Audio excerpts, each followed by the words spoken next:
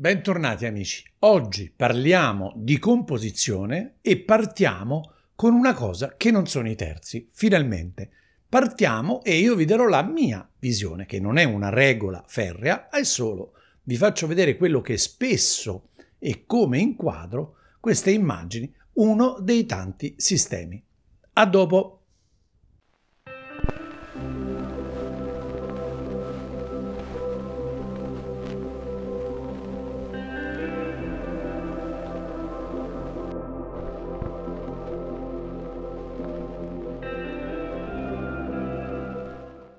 Allora amici, bentornati a un nuovo video. Oggi, su richiesta di diverse persone durante questi ultimi mesi, affrontiamo la prima puntata della composizione. Parleremo un attimo dei formati perché saprete che il formato dà la sensazione, quindi cambia di molto l'impostazione della composizione corretta. Attenzione, composizione corretta significa farsi capire dal proprio spettatore cercare di indirizzare lo sguardo e di far riflettere chiunque guardi le nostre immagini.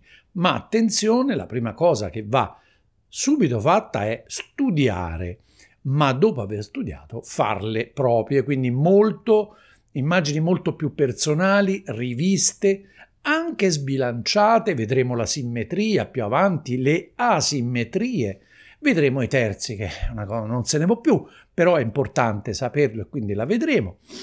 Ho letto un'intervista un anno fa eh, su un sito web di fotografia che non ricordo purtroppo, molto carina, al direttore della fotografia di War, eh, Star Wars e diceva ah sì assolutamente la regola dei terzi io la uso è una cosa che deriva dalla pittura molto bella che palle. Ha ragione io personalmente la penso così. Bellissima però che palle. Andiamo avanti e oggi vediamo una cosa molto vicina, ma non è la stessa cosa. I miei rettangoli, ed apriamo con questa struttura eh, poco usuale, il mio rettangolo 3 mezzi o 2 terzi, a secondo la direzione che prende, orizzontale o verticale, lo dividiamo in un quadrato e il resto di un rettangolo. Sembra 2 terzi e un terzo, in realtà matematicamente deriva dalla regola aurea che però io onestamente non seguo, sono sincero. Per me è quando metto l'occhio in macchina molto spesso, non sempre, molto spesso mi capita di vedere questo quadrato e questo rettangolo in termini aurei, ma solo per una questione di disposizione di spazi. Quindi ogni foto rettangolare che cerco di scattare ha sempre una foto a sé stante all'interno di un quadrato immaginario e il restante c'è un altro soggetto, magari ovviamente secondario, ma che aiuta a raccontare questa foto. Io vi lascio a questa piccola introduzione sui formati da non trascurare e poi vi faccio vedere 3-4 esempi veloci di quello che intendo. Ci vediamo la prossima settimana. Eh, più in là vedremo altre puntate che appariranno, ovviamente ogni volta su un argomento della composizione diverso. Grazie a tutti, alla prossima. Ciao ciao! Allora, quello che vedete qui è il formato più comune del mondo della fotografia, sia la fotografia del passato sia la fotografia attuale, ed è eh, adesso chiamato full frame. No? Il rapporto dei lati è 3 a 2 quando è orizzontale e naturalmente diventa 2 a 3 quando è il rapporto verticale. Allora, questo è il formato più famoso perché? Perché deriva da un progetto già degli anni, mi sembra, 1913, poi fu abbandonato perché nacque la Prima Guerra Mondiale e ripreso solamente all'uscita della Prima Laica 1 nel 1925 è diventato un formato che all'inizio, come tutte le cose nuove, guardate il digitale, guardate il sistema delle mirrorless, eccetera, cre- ha creato polemiche in giro per il mondo perché era un formato troppo piccolo, secondo molti, e quindi poco qualitativo. In realtà questo formato ha permesso 36 foto di seguito con un rullino, a contrario poi del di eh, maggiori formati dove i scatti erano sempre pochi. Pensate, le lastre era uno scatto per volta, quindi il 3 diciamo mezzi il rapporto e quindi il 35 mm chiamato anche 24-36 è diventato poi in realtà nel fotogiornalismo, nei racconti di guerra, eccetera, anche alla portata di tutti come un formato piuttosto comune. Allora, il formato invece 4 terzi deriva un po', vi ricordate i televisori prima di questi che abbiamo noi adesso dentro casa e i monitor erano 4 terzi, cioè rapporto lungo 4, rapporto d'altezza 3. Ovviamente in verticale diventa 3 quarti, è inutile che ve lo dica. Era il passato e sono, da un lato a me non mi sono mai piaciuti, ma ammetto che per esempio nel ritratto, quando il 4 terzi viene messo verticale, ha un rapporto, diciamo, testa-spalle decisamente migliore del 3 mezzi. Poi noi ci facciamo tanto l'abitudine, ma diciamo che l'inquadratura nel ritratto dei 4 terzi è decisamente più mh, composta bene, è più facile, c'è meno aria quando si scatta in verticale e questo fa un ottimo rapporto. Naturalmente i file e molti sensori sono nati 4 terzi e tuttora i telefoni e alcune macchine micro 4 terzi si chiamano, hanno questo rapporto diciamo un po' più quadrato rispetto al 3 mezzi. Un rapporto molto difficile che io però tuttora amo, visto gli anni che ho usato il medio formato Hasselblad, per quanto non è un, un'inquadratura molto dinamica, a me piaceva tantissimo. Il formato quadrato non è così facile da comporre, o almeno apparentemente sì, perché il centro è sicuramente la parte più di interesse di questo formato che è l'unico che non possiamo ruotare perché ha tutti i lati uguali.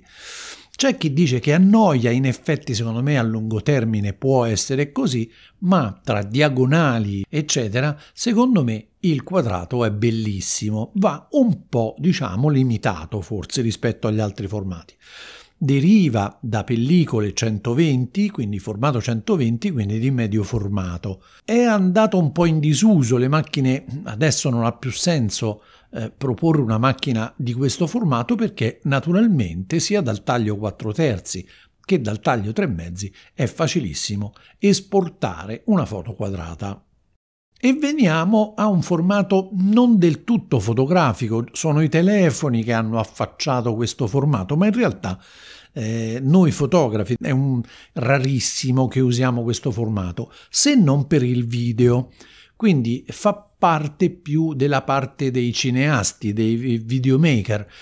Allora, non è un rapporto fotografico, ma ovviamente nel tempo la televisione e il cinema si sono un po' adattati con formati interscambiabili, diciamo così, anche se poi esiste per esempio il 21 decimi che è ancora più stretto, ma insomma in realtà il 16 noni ha preso il posto del 4 terzi nei televisori e ai monitor del passato e quindi noi quando componiamo per il video facciamo diciamo dei piccoli crop perché l'immagine è più lunga del rapporto tre mezzi.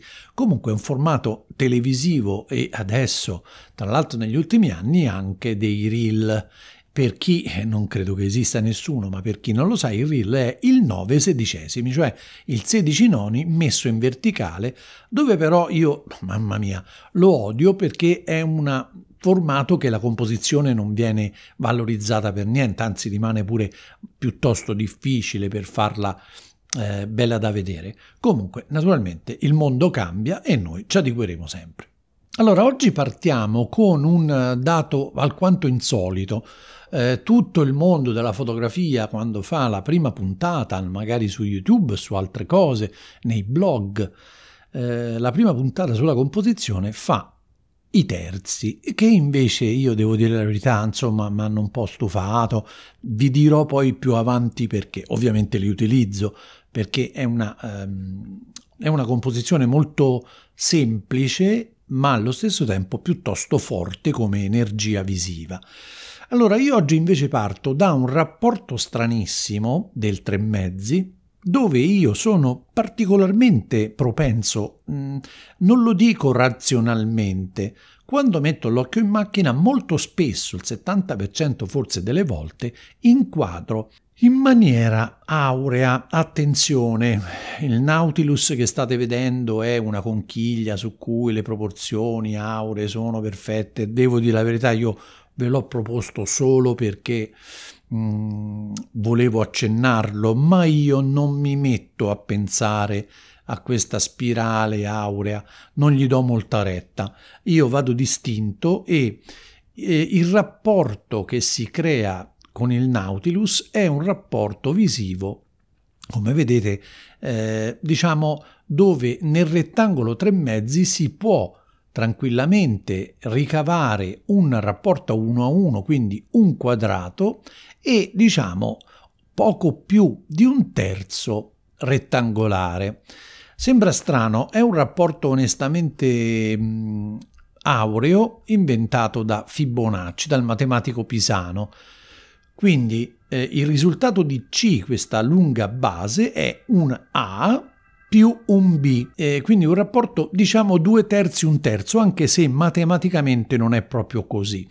Io però inquadro questa cosa perché la, all'interno di uno stesso fotogramma a me piace spesso, quando posso, inserisco molte volte, istintivamente, senza stare a ragionare, due immagini separate ma che vivono insieme.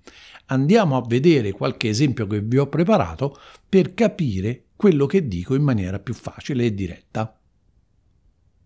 Allora, questa è la prima immagine, tra l'altro molto semplice, che io vi ho eh, caricato e vi faccio vedere come anche un'immagine così scontata e banale possa in realtà avere dei schemi ben precisi. Queste sono foto istintive che uno punta all'obiettivo e Mm, diciamo che anche qui ci sono due foto, era proprio l'inizio di quello che volevo farvi vedere. Tra l'altro la nuvola reale e quella riflessa nell'acqua danno un peso più sulla parte destra che vi dicevo aureo, no? questo rapporto aureo, però in realtà io non ragiono mai con questa situazione, ma il mio cervello si è abituato negli anni molto spesso, non sempre, ma molto spesso, dividendo questa prima parte che sia a destra o a sinistra del eh, quadrato insieme a questo resto di rettangolo. Come vedete, se voi togliete mentalmente le righe, vedete che sono due immagini diverse, ma nello stesso fotogramma. Ecco, delle, questa qui è una delle composizioni che io utilizzo di più perché mentalmente sono predisposto e tra l'altro è molto vicina in alcuni casi e molte volte anche la regola dei terzi, ma è un po' più sbilanciata e a me piace molto, devo essere onesto. Questo è il secondo caso, già vedete che la composizione è fatta nella maniera aurea, ma il colore contrasta e quindi già è disegnata da sé. L'unico intervento insolito, l'unico elemento che crea una diversità e secondo me dà movimento a questa immagine sarebbe stata vuota, sarebbe stata difficilissima senza soggetto, la testa della ragazza è perfettamente alla metà dell'orizzonte del quadrato, ma anche del rettangolo. È stata una foto casuale, ma come vedete già, anche se io non mettessi questi bordi colorati, già si capisce che è una composizione aurea in più eh, diciamo, a contrasto di colore, non so se il termine è giusto, ma insomma i colori già fanno la composizione da loro. Come vedete ecco il quadrato ed ecco il rettangolo. La immagine che state vedendo è sovrapposta anche con i terzi che è più che giusto, come vedete rientra anche nei terzi. Ecco un'altra immagine, la terza, che anche questa con un occhio già abituato a quello che abbiamo visto prima già la vediamo senza per forza mettere eh, il risalto i, la grafica però si capisce bene ecco la, la parte principale la, la, parte più pesante no? si dice eh, che ha un peso maggiore rispetto alla, al lato B Eccolo qui, e sono idealmente anche due foto totalmente diverse. Ora ovviamente lì è il riflesso della precedente, ma come vedete la composizione di questa foto funziona perché ha questo rapporto di due terzi e un terzo. Era molto visibile già a occhio nudo, ma questo enfatizza naturalmente la grafica enfatizza il nostro pensiero. Sono foto molto facili, ma didascaliche, ma molto semplici da apprendere. Io, per esempio, quando metto l'occhio in macchina, spesso sbilancio un pochettino eh, i terzi e preferisco un quadrato e un rettangolo. Ovviamente non è sempre così, prendetela sempre con le pinze. Questo è Napoli, un gatto e un ragazzo di Napoli. Stavo entrando alla mostra di Chagall, non lo so, due o tre anni fa, forse quattro, e, e, come vedete l'inquadratura è stata istintiva, pensavo di fare i terzi e invece come vedete c'è eh, questa parte di peso del gatto che poi si lancerà, io l'ho fotografato ma non ho scelto quella foto lì, e il rettangolo dove c'è lo spettatore, il ragazzo che guarda il gatto non avendo capito cosa volesse fare, perché il, cam- il gatto camminava su questo cornicione. Naturalmente, come vedete, questo rapporto aureo funziona anche con l'intersecamento dei terzi sul gatto che è l'attore principale, anche perché era in movimento rispetto al ragazzo che era fermo. Anche questa, come vedete, è una questione prima abbiamo visto di colori, adesso è la composizione in funzione della luce, luci ed ombre. Questa parte luminosa che ha più peso sulla parte sinistra, come vedete, è particolarmente un quadrato anche qui e c'è un rettangolo di un terzo di fotogramma invece oscuro e più drammatico. Questo peso della destra sulla sinistra comunque fa sì che il fotogramma, come ripeto sempre tre mezzi, ha un rapporto che funziona. In più ci sono queste linee sia delle ciminiere che vengono giù parallele al, diciamo, alla linea blu che vedete, e, e, ehm, e, secondo me la foto è abbastanza particolare e inquietante visto l'inquinamento delle centrali, ma si regge su questo contrasto chiaroscuro e questo formato quadrato e rettangolare. Allora, questo è un elemento che io ho scattato, mi sembra, alla villa eh, Farnese ed è, eh, diciamo, all'interno ci sono tutti i corridoi tondi. Come vedete già nasce anche con i terzi adatta a questa linea mediana eh, che è una colonna e come vedete il quadrato prende benissimo metà della colonna e la parte forse più gradevole da vedere perché ricca di intelaiature, di affreschi di vari colori caldi e da metà colonna in, a sinistra c'è questo rettangolo sempre, vedete? C'è sempre il rapporto quadrato-rettangolo che qui eh, diciamo per motivi di spessore della colonna è forse un po' eh, oscurato, un po' sacrificato, ma in realtà se ci fosse stata una colonna molto più stretta sarebbe stato disegnato così proprio dall'architettura della villa, anche se ovviamente come vedete il rapporto funziona benissimo. C'è una parte principale, quindi quella più grande formata dal quadrato, e una parte aggiuntiva non vuota, cioè non c'è lo spazio negativo, ma c'è un minimo di spazio. Oh, anche questa la vedete già, ormai abbiamo capito come funziona, sarò velocissimo e finiamo. Come vedete anche qui c'è la parte luminosa adatta anche, anche ai terzi, c'è questa parte luminosa quasi quadrata, eccola qui alla sinistra, e racconta già una foto di sé, eh, legata ovviamente anche al terzo mancante, lo ripeto anche se non è perfettamente matematicamente un terzo, eccolo lì che la foto si compone bene. Devo ammettere che qui la forza forse sta più nel terzo dove la, visione del fiore è reale, mentre quella che vedevamo nel quadrato è la sua proiezione d'ombra. Insomma, potrebbero essere, come dire, due stampe tagliate a metà che andrebbero bene. Come vedete, la sommatoria dei terzi, anche qui un pochettino un accenno quasi preciso, è normale. Ricordo che la divisione dei terzi e della regolaurea si sposta leggermente, infatti come vedete quando le sovrappongo si vede sempre un bordino più spesso, perché il rapporto matematico si differenzia di poco ma si differenzia. Allora, questa eh, penso sia l'ultima foto di questo rapporto di composizione e eh, al di là di questa foto di questa sedia arancione che mi colpì tantissimo, che sta sul primo terzo, come vedete, dei, proprio dei terzi, io l'ho guardata in maniera eh, diversa, e cioè ve ne accorgete da soli, i due negozi adiacenti sono divisi quasi da un quadrato perché quello a sinistra è leggermente più largo e per me la composizione era quadrato, quadrato a sinistra e il secondo negozio si prende una fetta più stretta ma ho valorizzato comunque il fatto delle persone. quasi quasi potrebbe essere anche una triangolazione sedia arancione e i due personaggi, uno di nuca e uno da davanti. La foto racconta due attività commerciali uguali ma adiacenti, quindi concorrenti, con questo taglio dove quella di sinistra ha un po' più di peso perché il negozio era più largo. Ok? Io vi ringrazio e ci sentiamo in un'altra puntata.